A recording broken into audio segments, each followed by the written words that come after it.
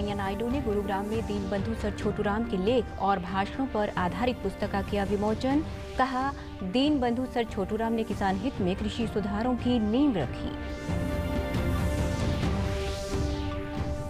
उपराष्ट्रपति एम वेंकैया नायडू ने गुरुग्राम में पैरालंपिक खिलाड़ियों को किया सम्मानित, कहा, दूसरे राज्य भी हरियाणा से ले प्रेरणा।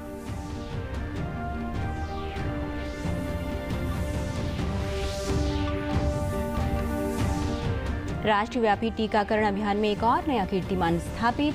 80 करोड़ से अधिक कोविड 19 रौधी टीके लगाकर देश ने हासिल की नई उपलब्धि।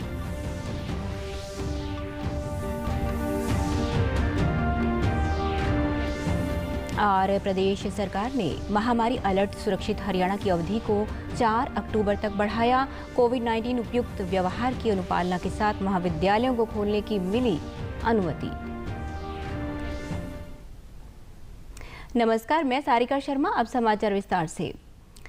उपराष्ट्रपति एम वेंकैया नायडू ने आज गुरुग्राम में दीन बंधु सर छोटू राम के लेख व भाषणों पर आधारित पुस्तक के पाँच खंडों का विमोचन किया।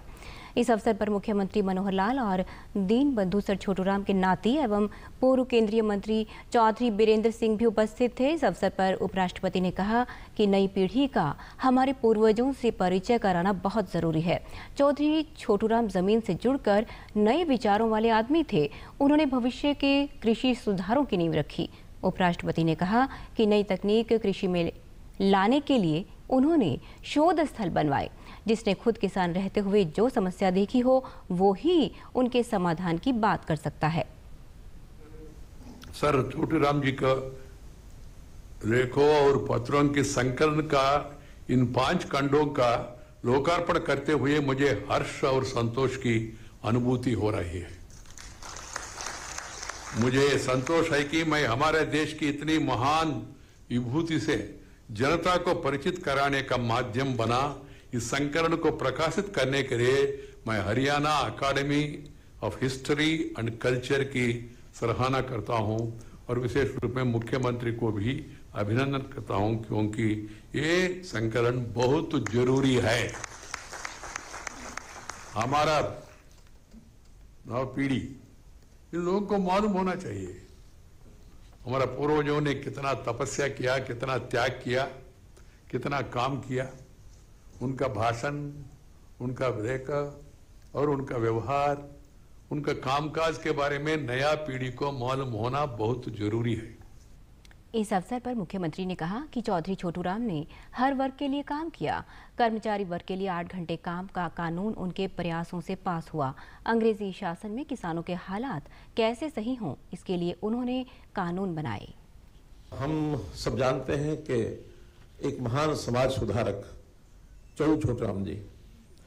वो अच्छे विद्वान पढ़े लिखे वकील और वकील के साथ उन्होंने अपने प्रैक्टिस करते हुए समाचार पत्रों के साथ जिस प्रकार का एक सजीवट उनका एक संबंध, जैसे अपने विचारों को किस प्रकार से आगे बढ़ाना और जैसे अभी फ़िल्म में दर्शाया गया कि अपने सार्वजनिक काल में उन्होंने हर क्षेत्र को आगे बढ़ाया, चाहे उद्योग हो, चाहे व्यापार हो क्योंकि ऐसा कहते हैं कि व्यापारियों के लिए भी ये जो आठ घंटे का काम करने का जो कानून है, ये उन्हीं के कार्यकाल में पास हुआ।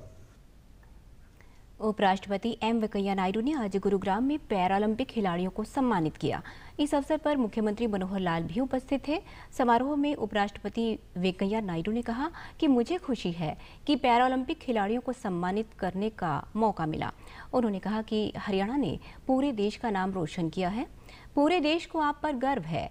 उन्होंने प्रदेश सरकार और मुख्यमंत्री की खिलाड़ियों को प्रोत्साहित करने के लिए सराहना की। उपराष्ट्रपति ने कहा कि हरियाणा ने देश के सभी राज्यों को प्रेरित किया है। मुझे उम्मीद है दूसरे राज्य भी हरियाणा से प्रेरणा लेंगे। इस वर्ष के टोक्यो ओलंपिक्स और पैरा ओलंपिक्स में भारतीय दल का प्रदर्शन बेहतर रहा। इस वर्ष के खेलों में देश ने सबसे अधिक पदक जीते। मैं विशेष रूप में हरियाणा प्रदेश को अभिनंदन करना चाहता हूँ। अपना देश के लिए उन्नीस पदक जीते, जिसमें से पाँच स्वर्ण पदक और रजत पदक और छः कांस्य पदक शामिल है।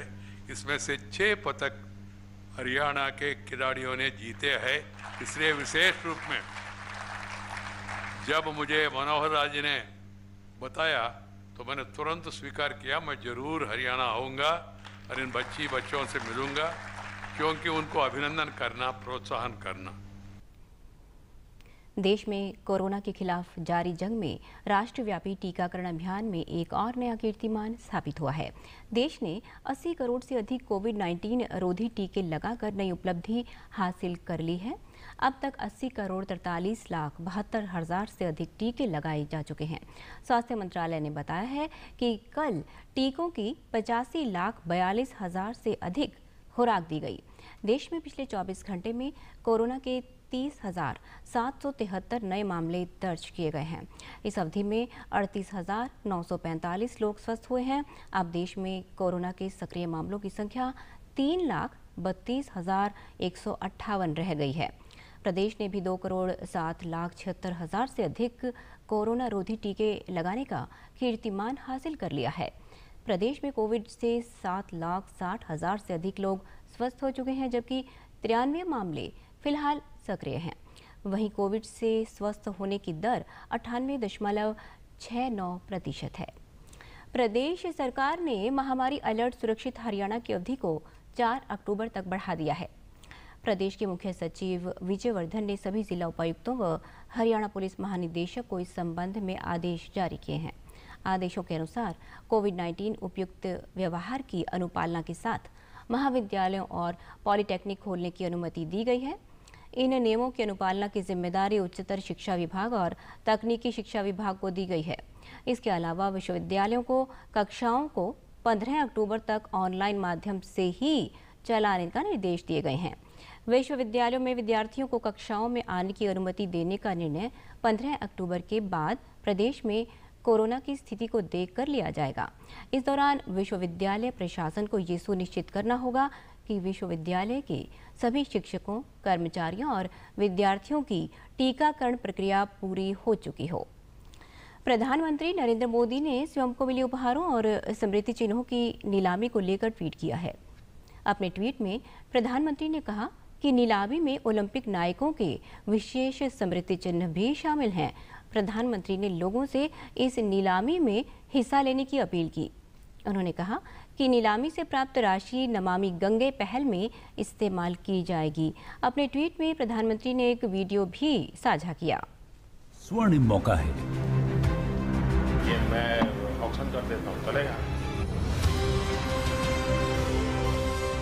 जहाँ वो माननीय प्रधानमंत्री नरेंद्र मोदी जी को मिले उपहार, जो राष्ट्रीय गौरव के प्रतीक हैं, उन्हें ई ऑक्शन के ज़रिए खरीद सकते हैं।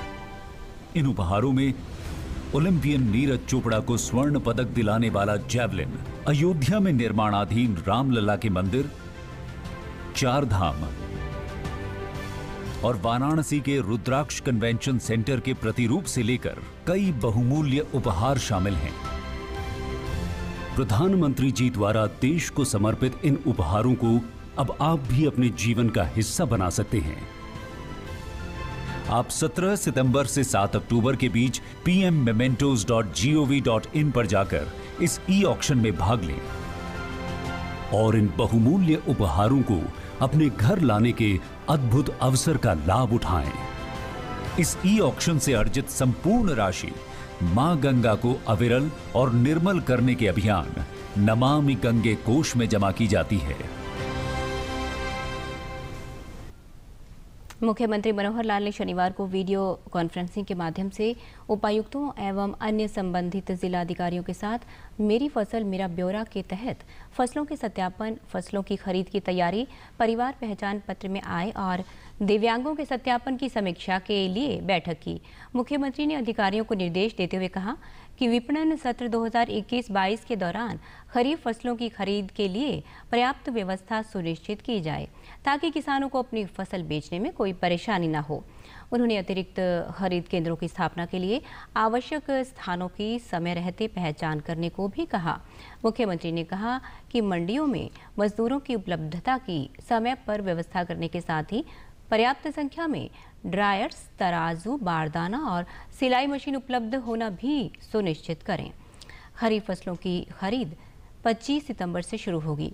उन्होंने कहा कि किसानों की सुविधा और फ़सलों की परेशानी मुक्त खरीद सुनिश्चित करने के लिए यदि आवश्यकता हो तो मंडियों या खरीद केंद्रों की संख्या बढ़ाई जाए। प्रदेश में सितंबर माह में इस वर्ष अधिक बारिश दर्ज की गई, जिसके चलते धान की फ़सल में बढ़ोतरी होने की उम्मीद है। भिवानी ज़िले में भी सितंबर माह में अब तक छप्पन एम एम बारिश दर्ज की गई है, जिससे न केवल फ़सलों को पानी मिला है, जबकि भूमिगत जलस्तर में भी सुधार हुआ है। भिवानी के जिला कृषि अधिकारी ने बताया कि ये सितंबर माह में उन्नीस के बाद वर्ष 2021 में अब तक की सबसे अधिक बारिश है। उन्होंने कहा कि सितंबर माह में हुई बारिश से धान व चारे वाली फ़सलों को अच्छा लाभ हुआ है और बारिश से भूमिगत जलस्तर में भी वृद्धि हुई है। सितंबर मह- महीने की तो सितंबर में लगभग छप्पन एम बारिश जो है एवरेज हुई है। जो इसमें जो लॉस है, वो ये मान के चलो कपास में ही मुख्य लॉस है। और कपास में लगभग हमारा एरिया जो है, दो लाख हेक्टेयर का एकड़ दो लाख एकड़ बिजाई हुआ है, ज़िले में, भिवानी में, जिसमें से एक लाख तेरह हज़ार में आंशिक लॉस है कपास में और बाकी बारह हज़ार जो एकड़ है, उसमें छब्बीस परसेंट से ज़्यादा लॉस किसानों ने बताया कि बारिश के चलते गाँव के जोहड़ व तालाबों में पानी पर्याप्त मात्रा में पहुँच गया है और अब उन्हें नहरी पानी और ट्यूबवेल पर निर्भर रहने की ज़रूरत नहीं पड़ी। उन्होंने बताया कि अच्छी बरसात के चलते घास के मैदानों में मवेशियों के लिए पर्याप्त मात्रा में चारा भी उत्पन्न हो गया है। इससे उनके पशुपालन को भी बढ़ावा मिला है। ज़्यादा बेनिफिट होने वाले हैं। लाइट का ही ले लीजिए, जो घरों में एसी चल रहे थे, वो आज एसी बंद हो गई तो लाइट की बहुत ज़्यादा बचत हुई। किसान जो खेत में ट्यूबवेल चला रहा था, जो डीजल लगता था, उसकी बचत हुई।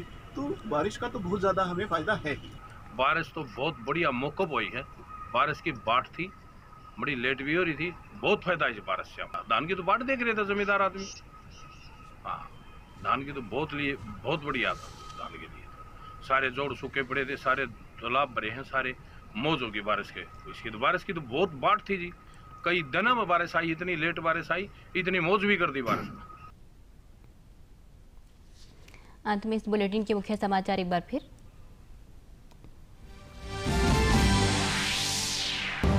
उपराष्ट्रपति एम वेंकैया नायडू ने गुरुग्राम में दीन बंधु सर छोटूराम के लेख और भाषणों पर आधारित पुस्तक का किया विमोचन। कहा दीन बंधु सर छोटूराम ने किसान हित में कृषि सुधारों की नींव रखी। उपराष्ट्रपति एम वेंकैया नायडू ने गुरुग्राम में पैरालंपिक खिलाड़ियों को किया सम्मानित, कहा, दूसरे राज्य भी हरियाणा से ले प्रेरणा।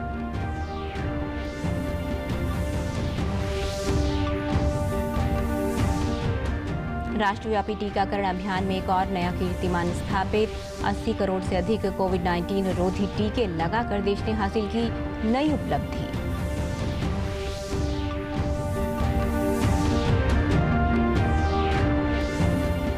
और प्रदेश सरकार ने महामारी अलर्ट सुरक्षित हरियाणा की अवधि को 4 अक्टूबर तक बढ़ाया। कोविड 19 उपयुक्त व्यवहार की अनुपालना के साथ महाविद्यालयों को खोलने की मिली अनुमति। सभी दर्शकों से अपील है कि आप जब भी घर से बाहर निकलें, तब मास्क ज़रूर पहनें। दो गज की दूरी बनाए रखें और एक नियमित अंतराल पर अपने हाथ धोते रहें और अगर आप पात्र हैं तो टीकाकरण अवश्य करवाएँ, तभी आप कोरोना महामारी से बच सकते हैं। आज के बुलेटिन में बस इतना ही। नमस्कार।